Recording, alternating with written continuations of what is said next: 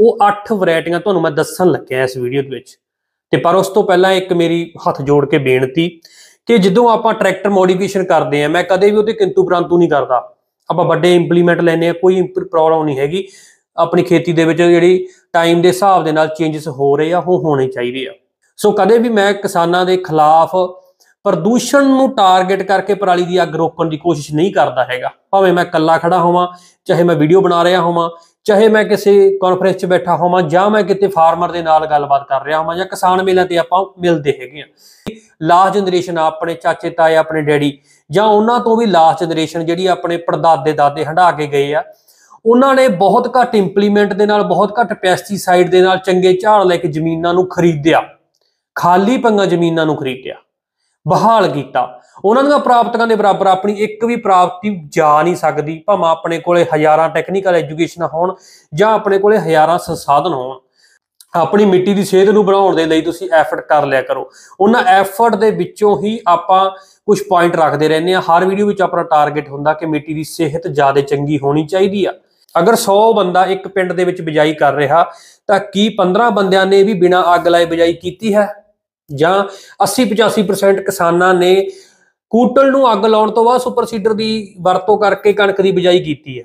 ਤੁਸੀਂ ਦੱਸੋ ਵੀ ਜੋ ਸਰਕਾਰਾਂ ਦਾ ਗੋਲ ਸੀਗਾ ਮਸ਼ੀਨਰੀ ਵੇਚਣ ਦਾ, ਅੱਗ ਲਵਾਉਣ ਦਾ, ਉਹ ਬਰਕਰਾਰ ਆ। ਤੁਸੀਂ ਦੇਖ ਲਓ ਬਾਕੀ ਹੁਣ ਵੀ ਕਿੱਥੇ ਜੇ ਗੱਲ ਸਟੈਂਡ ਕਰਦੀ ਹੈ। ਤੁਹਾਡੀ ਸੋਇਲ ਹੈਲਥ ਮੇਨਟੇਨ ਨਹੀਂ ਹੋਈ, ਤੁਹਾਨੂੰ ਮਸ਼ੀਨਰੀ ਵੀ ਦੇ ਦਿੱਤੀ ਗਈ ਆ, ਉਹਦੀ ਰਿਪੇਅਰ ਤੁਸੀਂ ਕਰਾਉਣੀ ਪੈਣੀ ਆ। ਅਗਰ ਉਹ ਉਦੋਂ ਸਫਲ ਮਸ਼ੀਨਰੀ ਕੋਈ ਹੋਰ ਆਉਂਦੀ ਹੈਗੀ ਇਹ ਅਧੂਰੀ ਮਸ਼ੀਨਰੀ ਤੁਹਾਨੂੰ ਵੇਚਣੀ ਪੈਣੀ ਆ ਕਵਾੜ ਦੇ ਵਿੱਚ। ਇਹ ਤੁਸੀਂ ਆਪਦੀ ਬੁੱਧੀ ਤੇ ਥੋੜਾ ਜਿਹਾ ਲੋਡ ਪਾਇਓ ਵੀ ਕਦੇ ਵੀ ਆਪਾਂ ਧਰਨਾ ਇਸ ਗੱਲ 'ਚ ਨਹੀਂ ਲਾਇਆ ਹੈਗਾ ਵੀ ਸਾਨੂੰ ਸੋਇਲ ਟੈਸਟਿੰਗ ਚਾਹੀਦੀ ਆ ਫਾਸਟ ਸੋਇਲ ਟੈਸਟਿੰਗ ਰਿਪੋਰਟ ਚਾਹੀਦੀ ਆ। ਸਾਨੂੰ ਫਸਲਾਂ ਦੇ ਐਕਸ-ਰੇ ਕਰਨ ਵਾਲੀਆਂ ਮਸ਼ੀਨਾਂ ਚਾਹੀਦੀਆਂ, ਸਾਨੂੰ ਬਲਾਕ ਪੱਧਰ ਤੇ ਇਸ ਤਰ੍ਹਾਂ ਦਾ ਜਿਹੜਾ ਪੰਜਾਬ ਦਾ 15-18 ਕਰੋੜ ਰੁਪਏ ਦਾ ਬਜਟ ਬਣਦਾ, ਉਹਦੇ ਲਈ ਨਾ ਕੋਈ ਕਿਸਾਨ ਯੂਨੀਅਨ ਖੜਦੀ ਹੈਗੀ ਆ, ਨਾ ਹੀ ਫਾਰਮਰ ਰੱਖੇ ਹੁੰਦੇ ਹੈਗੇ। ਕਿਸਾਨ ਭਰਾਵੋ, ਕਣਕ ਦੀਆਂ ਬਜਾਈਆਂ ਮੁਕੰਮਲ ਹੋਣ ਵਾਲੀਆਂ। ਤੇ ਕਾਫੀ ਵੱਡੇ ਏਰੀਆ ਵਿੱਚ ਕਣਕ ਦੀ ਬਜਾਨ ਹੋ ਚੁੱਕੀ ਹੈ, ਕਣਕ ਉੱਗਰ ਵੀ ਚੁੱਕੀ ਹੈ, ਪਰ ਪਛੇਤੀਆਂ ਬਜਾਈਆਂ ਦੇ ਵਿੱਚ ਆਪਾਂ ਕੁਝ ਖਾਸ ਵੈਰਾਈਟੀਆਂ ਵਰਤਣੀਆਂ ਹੁੰਦੀਆਂ। ਜਿਨ੍ਹਾਂ ਦੇ ਵਿੱਚ ਟਾਈਮ ਪੀਰੀਅਡ ਘੱਟ ਹੁੰਦਾ ਥੋੜਾ ਬੋਟਾ ਬੀਜ ਵੱਧ ਘੱਟ ਪੈ ਜਾਂਦਾ, ਆਪਾਂ ਕਿਹੜੀਆਂ ਗੱਲਾਂ ਦਾ ਖਿਆਲ ਰੱਖਣਾ ਤੇ ਕਿਹੜੀਆਂ ਉਹਨਾਂ ਕਿਸਮਾਂ ਦਾ ਨਾਮ ਹੈਗਾ? ਕਿਹੜੀ ਯੂਨੀਵਰਸਿਟੀ ਜਾਂ ਪ੍ਰਾਈਵੇਟ ਅਦਾਰਿਆਂ ਦੀਆਂ? ਉਹ 8 ਵੈਰਾਈਟੀਆਂ ਤੁਹਾਨੂੰ ਮੈਂ ਦੱਸਣ ਲੱਗਿਆ ਇਸ ਵੀਡੀਓ ਦੇ ਵਿੱਚ।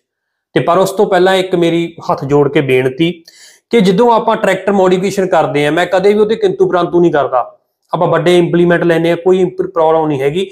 ਆਪਣੀ ਖੇਤੀ ਦੇ ਵਿੱਚ ਜਿਹੜੀ ਟਾਈਮ ਦੇ ਹਿਸਾਬ ਦੇ ਨਾਲ ਚੇਂਜਸ ਹੋ ਰਹੇ ਆ, ਉਹ ਹੋਣੇ ਚਾਹੀਦੇ ਆ। ਪਰ ਆਪਾਂ ਬਹੁਤ ਜ਼ਿਆਦਾ ਲਗਜ਼ਰੀ ਲਾਈਫ ਦਿਖਾਉਣ ਦੀ ਜਾਂ ਜਿਉਣ ਦੀ ਕਾਮਨਾ ਰੱਖਦੇ ਹੁੰਨੇ ਆ ਪਰ ਆਪਾਂ ਕਦੇ ਵੀ ਮਿੱਟੀ ਦੀ ਹੈਲਥ ਬਾਰੇ, ਉਹਦੇ ਚੈੱਕਅਪ ਬਾਰੇ ਜਾਂ ਉਹਦੀ ਸਿਹਤ ਨੂੰ ਬਰਕਰਾਰ ਰੱਖਣ ਦੇ ਬਾਰੇ ਜਾਂ ਘਟੀ ਹੋਈ ਹੈ ਸਿਹਤ ਉਹਦੀ ਤਾਂ ਵਧਾਉਣ ਦੇ ਬਾਰੇ ਆਪਾਂ ਉਹਨੂੰ ਕਦੇ ਵੀ ਕੋਈ ਪ੍ਰੋਡਕਟ ਜਾਂ ਕੋਈ ਐਫਰਟ ਜਾਂ ਮਿਹਨਤ ਲੈਵਲ ਦਾ ਕੰਮ ਆਪਾਂ ਕਦੇ ਕਰਦੇ ਨਹੀਂ। ਜੇ ਕਰਦੇ ਆ ਕੋਈ 100 ਦੇ ਵਿੱਚੋਂ 10 ਵਜ, ਤਾਂ ਉਹ ਦੱਸ ਕੇ ਨਹੀਂ ਬਚਦੇ, ਉਹ ਸ਼ੋਕੇਸ ਨਹੀਂ ਕਰਦੇ, ਉਹ ਰੀਲੋ ਰੀਲਾਂ ਵੀਡੀਓ ਵੀ ਨਹੀਂ ਪਾਉਂਦੇ ਹੈਗੇ। ਸੋ ਕਦੇ ਵੀ ਮੈਂ ਕਿਸਾਨਾਂ ਦੇ ਖਿਲਾਫ ਪ੍ਰਦੂਸ਼ਣ ਨੂੰ ਟਾਰਗੇਟ ਕਰਕੇ ਪਰਾਲੀ ਦੀ ਅੱਗ ਰੋਕਣ ਦੀ ਕੋਸ਼ਿਸ਼ ਨਹੀਂ ਕਰਦਾ ਹੈਗਾ। ਭਾਵੇਂ ਮੈਂ ਇਕੱਲਾ ਖੜਾ ਹੋਵਾਂ, ਚਾਹੇ ਮੈਂ ਵੀਡੀਓ ਬਣਾ ਰਿਹਾ ਹੋਵਾਂ, ਚਾਹੇ ਮੈਂ ਕਿਸੇ ਕਾਨਫਰੰਸ 'ਚ ਬੈਠਾ ਹੋਵਾਂ ਜਾਂ ਮੈਂ ਕਿਤੇ ਫਾਰਮਰ ਦੇ ਨਾਲ ਗੱਲਬਾਤ ਕਰ ਰਿਹਾ ਹੋਵਾਂ ਜਾਂ ਕਿਸਾਨ ਮੇਲਿਆਂ ਤੇ ਆਪਾਂ ਮਿਲਦੇ ਹੈਗੇ ਆ ਸਮੱਸਿਆਵਾਂ ਆਉਂਦੀਆਂ ਰਹਿਣਗੀਆਂ, ਸਮੱਸਿਆਵਾਂ ਪਹਿਲਾਂ ਵੀ ਸੀਗੀਆਂ।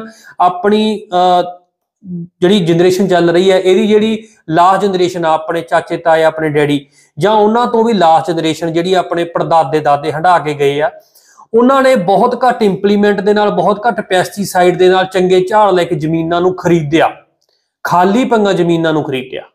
ਬਹਾਲ ਕੀਤਾ। ਉਹਨਾਂ ਦੀਆਂ ਪ੍ਰਾਪਤੀਆਂ ਦੇ ਬਰਾਬਰ ਆਪਣੀ ਇੱਕ ਵੀ ਪ੍ਰਾਪਤੀ ਜਾ ਨਹੀਂ ਸਕਦੀ, ਭਾਵੇਂ ਆਪਣੇ ਕੋਲੇ ਹਜ਼ਾਰਾਂ ਟੈਕਨੀਕਲ ਐਜੂਕੇਸ਼ਨ ਹੋਣ ਜਾਂ ਆਪਣੇ ਕੋਲੇ ਹਜ਼ਾਰਾਂ ਸੰਸਾਧਨ ਹੋਣ। ਪਰ ਜਿੱਥੇ ਮਿੱਟੀ ਦੀ ਸਿਹਤ ਦੀ ਗੱਲ ਆਉਂਦੀ ਹੈ, ਕੋਈ ਕੰਪਰੋਮਾਈਜ਼ ਨਹੀਂ। ਉੱਥੇ 2 200 ਦੀ ਥਾਂ ਤੇ 500 ਰੁਪਏ ਲੱਗੇ, ਕੋਈ ਪ੍ਰੋਬਲਮ ਨਹੀਂ। ਪਰ ਜਿੱਥੇ ਤੁਸੀਂ ਮੋਡੀਫਿਕੇਸ਼ਨਾਂ ਕਰਦੇ ਹੋ ਜਾਂ ਤੁਸੀਂ ਹੋਰ ਚੀਜ਼ਾਂ ਦੀਆਂ ਰੀਲਾਂ ਪਾਉਂਦੇ ਹੈਗੇ ਹੋ, ਤਾਂ ਇੱਕ ਪੋਜ਼ਿਟਿਵਿਟੀ ਨਹੀਂ ਬਣਦੀ ਹੈਗੀ ਸਮਾਜ ਦੇ ਵਿੱਚ। ਆਪਣੀ ਮਿੱਟੀ ਦੀ ਸਿਹਤ ਨੂੰ ਬਣਾਉਣ ਦੇ ਲਈ ਤੁਸੀਂ ਐਫਰਟ ਕਰ ਲਿਆ ਕਰੋ। ਉਹਨਾਂ ਐਫਰਟ ਦੇ ਵਿੱਚੋਂ ਹੀ ਆਪਾਂ ਕੁਝ ਪੁਆਇੰਟ ਰੱਖਦੇ ਰਹਿੰਦੇ ਆ ਹਰ ਵੀਡੀਓ ਵਿੱਚ ਆਪਣਾ ਟਾਰਗੇਟ ਹੁੰਦਾ ਕਿ ਮਿੱਟੀ ਦੀ ਸਿਹਤ ਜ਼ਿਆਦਾ ਚੰਗੀ ਹੋਣੀ ਚਾਹੀਦੀ ਆ। ਕਿਸੇ ਏਰੀਆ ਵਿੱਚ ਸੇਮ ਆ ਕਿਤੇ ਪੀਐਚ ਜ਼ਿਆਦਾ, ਕਿੱਥੇ ਹੋਰ ਪ੍ਰੋਬਲਮ ਆ ਆਰਗੈਨਿਕ ਮੈਟਰ ਆ। ਤੁਸੀਂ ਮੈਨੂੰ ਦੱਸੋ, ਇੱਕ ਸਾਰੇ ਕਿਸਾਨ ਕਮੈਂਟ ਜ਼ਰੂਰ ਕਰਿਓ ਵੀ ਅਗਰ ਤੁਹਾਡੇ ਏਰੀਏ ਵਿੱਚ ਸੁਪਰ ਸੀਡਰ ਬਿਨਾ ਅੱਗ ਲਾਏ ਖੇਤ ਦੇ ਵਿੱਚ ਬਜਾਈ ਕਰ ਗਿਆ, ਤਾਂ ਉਹ ਨਾ ਕਿਸਾਨਾਂ ਦੀ ਗਿਣਤੀ ਕਿੰਨੀ ਕਾ ਅਗਰ 100 ਬੰਦਾ ਇੱਕ ਪਿੰਡ ਦੇ ਵਿੱਚ ਬਿਜਾਈ ਕਰ ਰਿਹਾ, ਤਾਂ ਕੀ 15 ਬੰਦਿਆਂ ਨੇ ਵੀ ਬਿਨਾਂ ਅੱਗ ਲਾਏ ਬਿਜਾਈ ਕੀਤੀ ਹੈ? ਜਾਂ 80-85% ਕਿਸਾਨਾਂ ਨੇ ਕੂਟਲ ਨੂੰ ਅੱਗ ਲਾਉਣ ਤੋਂ ਬਾਅਦ ਸੁਪਰ ਸੀਡਰ ਦੀ ਵਰਤੋਂ ਕਰਕੇ ਕਣਕ ਦੀ ਬਿਜਾਈ ਕੀਤੀ ਹੈ? ਤੁਸੀਂ ਦੱਸੋ ਵੀ ਜੋ ਸਰਕਾਰਾਂ ਦਾ ਗੋਲ ਸੀਗਾ, ਮਸ਼ੀਨਰੀ ਵੇਚਣ ਦਾ, ਅੱਗ ਲਵਾਉਣ ਦਾ, ਉਹ ਬਰਕਰਾਰ ਆ।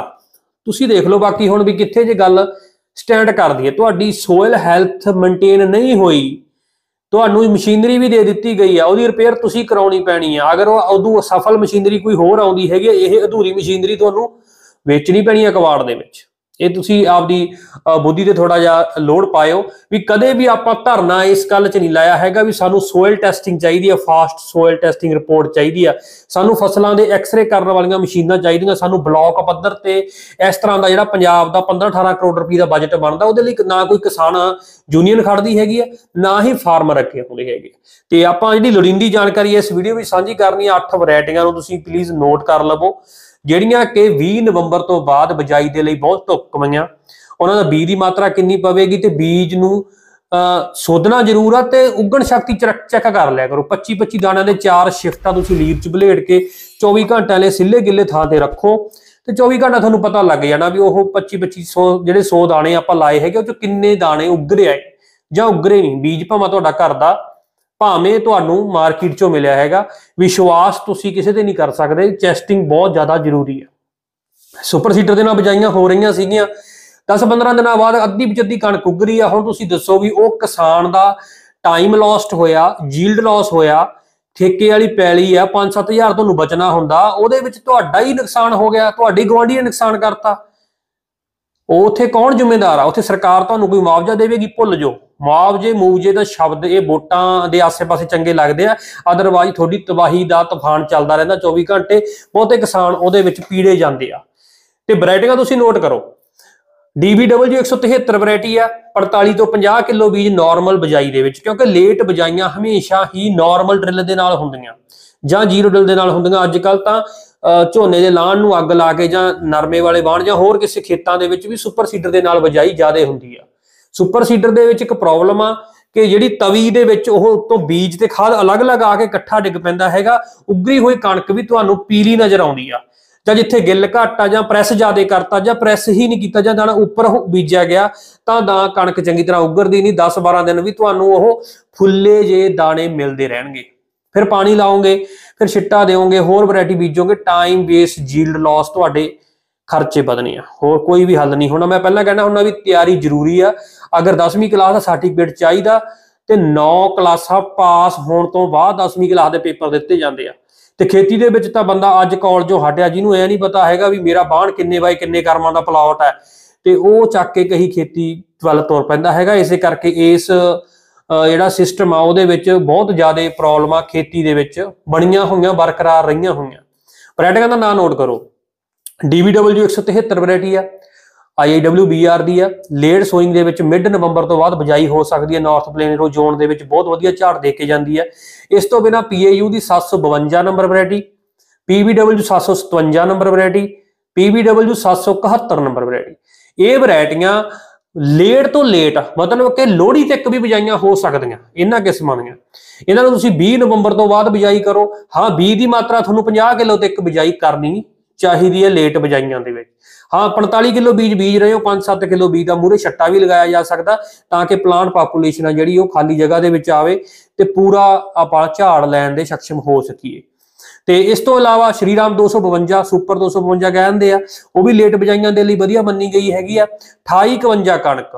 ਇਹ ਵੀ ਲੇਟ ਬਜਾਈਆਂ ਦੇ ਵਿੱਚ ਵਧੀਆ ਮੰਨੀ ਗਈ ਹੈ, ਇਹਦਾ ਬੀਜ ਥੋੜਾ ਜ਼ਿਆਦਾ ਪਾਉਣਾ ਪੈਂਦਾ ਹੈਗਾ। ਕਿਸਾਨ ਜਿਹੜੇ ਬੀਜਦੇ ਆ ਨਰਮੇ ਵਾਲੇ, ਕਿਸਾਨ ਆਲੂ ਵਾਲੇ ਜਾਂ ਹੋਰ ਕਿਸਾਨ ਥੋੜਾ ਭਲੀ ਬੰਦ ਜਾਣਦੇ ਇਹਦਾ ਬੀਜ ਸੋਧਣਾ ਬਹੁਤ ਜ਼ਰੂਰੀ ਆ ਤੇ ਬੀਜ ਦੀ ਮਾਤਰਾ ਵੀ ਇਹਦੀ ਜ਼ਿਆਦਾ ਚੱਲੀ ਜਾਂਦੀ ਹੈ। ਬਹੁਤੇ ਕਿਸਾਨ ਤਾਂ ਇੰਥ ਤੱਕ ਮੰਨਦੇ ਆ ਕਿ 65 70 ਕਿਲੋ ਪ੍ਰਤੀ ਏਕੜ ਦੇ ਹਿਸਾਬ ਨਾਲ ਵੀ ਇਹਦਾ ਲੇਟ ਬਜਾਈਆਂ ਦੇ ਵਿੱਚ ਬੀਜ ਪਾ ਕੇ ਉਹਨਾਂ ਨੇ ਚੰਗੇ ਝਾੜ ਲਏ ਆ। ਤੇ ਇਸ ਤੋਂ ਇਲਾਵਾ ਉਨਤ 550 ਨੂੰ ਵੀ ਪਹਿਲ ਦੇ ਸਕਦੇ ਹੋ। ਉਹ ਕਣਕ ਨੂੰ ਵੀ 2851 ਵਾਲੇ ਰੋਗ ਹੀ ਆਉਂਦੇ ਆ। ਲੀਡਰ ਸਪਰੇ ਉਹ ਤੇ ਹੁੰਦੀ ਨਹੀਂ। ਰੇਤਲੀਆਂ ਜ਼ਮੀਨਾਂ ਵਿੱਚ ਕਾਮਯਾਬ ਨਹੀਂ। ਡਾਕਰ ਜ਼ਮੀਨਾਂ ਦੇ ਵਿੱਚ ਉਸ ਕਿਸਮ ਦਾ ਬੀਜ ਤੁਸੀਂ ਉਹੀ 50 52 ਕਿਲੋ ਤੱਕ ਵਰਤ ਸਕਦੇ ਹੋ ਨਾਰਮਲ ਡਰਿਲ ਦੇ ਵਿੱਚ। ਬੀਜ ਦੀ ਮਾਤਰਾ ਤੇ ਮੈਂ ਵਾਰੀ-ਵਾਰੀ ਗੱਲ ਨਹੀਂ ਕਰਨਾ ਚਾਹੁੰਦਾ ਕਿਉਂਕਿ ਕੁਝ ਏਰੀਆ ਦੇ ਵਿੱਚ ਨਹਿਰੀ ਪਾਣੀ ਨਹੀਂ ਲੱਗਦਾ। ਉੱਥੇ ਟਿਊਬਲ ਪਾਣੀ ਲੱਗਦਾ ਜਿਹੜੇ ਖਾਰੇ ਹੁੰਦੇ ਆ ਜਾਂ ਜ਼ਮੀਨਾਂ ਦਾ ਅੰਸ਼ ਹੈਗਾ ਕਿ ਉਹ ਬੀਜ ਨੂੰ ਪੂਰਾ ਉਗਰ ਨਹੀਂ ਦਿੰਦੀਆਂ। ਉੱਥੇ ਲੂਣਾ ਦੀ ਮਾਤਰਾ ਜ਼ਿਆਦਾ ਆ। ਤਾਂ ਉੱਥੇ ਤੁਸੀਂ ਆਪਦੇ ਅਕੋਰਡਿੰਗ ਆਪਦੇ ਫੈਸਲੇ ਮੁਤਾਬਕ ਤੁਸੀਂ 5-7 ਕਿਲੋ ਬੀਜ ਪ੍ਰਤੀ ਏਕੜ ਵਧਾ ਸਕਦੇ ਹੁੰਦੇ ਹੋ। ਤੁਹਾਨੂੰ ਆਪਣਾ ਤਜਰਬਾ ਉਹਤੇ ਤੇ ਸਿਰਲੇਖ ਲਿਖਦਾ ਹੈਗਾ ਤੁਹਾਡੇ ਝਾੜ ਦਾ। ਤੇ ਆਉਣ ਵਾਲੇ ਦਿਨਾਂ ਦੇ ਵਿੱਚ ਤੁਹਾਡੇ ਨਾਲ ਵੀਡੀਓ ਸਾਂਝੀਆਂ ਕਰਦੇ ਰਹਾਂਗੇ। ਤੇ ਕੋਸ਼ਿਸ਼ ਕਰਦਾ ਰਹਿੰਦੇ ਹੈਗੇ ਆ ਕਿ ਘੱਟ ਖਰਚੇ ਦੇ ਨਾਲ ਮੁਕੰਮਲ ਜਾਣਕਾਰੀ ਤੁਹਾਡੇ ਤੱਕ ਪਹੁੰਚ ਹੀ ਰਹੇ ਇੰਸਟਾਗ੍ਰam YouTube, Facebook ਤੇ ਜਰੀਏ ਛੋਟੀਆਂ ਵੱਡੀਆਂ ਵੀਡੀਓ ਤੁਹਾਡੇ ਲਈ ਲੈ ਕੇ ਆਉਂਦੇ ਰਹਿੰਦੇ ਆ। ਦੇਖ ਕੇ ਅਮਲ ਕਰਿਆ ਕਰੋ, ਜਾਣਕਾਰੀ ਨੂੰ ਸਾਂਭ ਕੇ ਰੱਖ ਲਿਆ ਕਰੋ। ਸਾਰੇ ਵੀਰਾਂ ਦਾ ਬਹੁਤ ਬਹੁਤ ਧੰਨਵਾਦ। Thank you